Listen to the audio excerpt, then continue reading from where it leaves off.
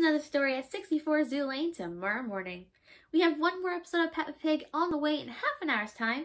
But right now it's time for some musical fun with Tim, Charli, Kathleen, Kellie, and Nathan. Here comes Hi-5.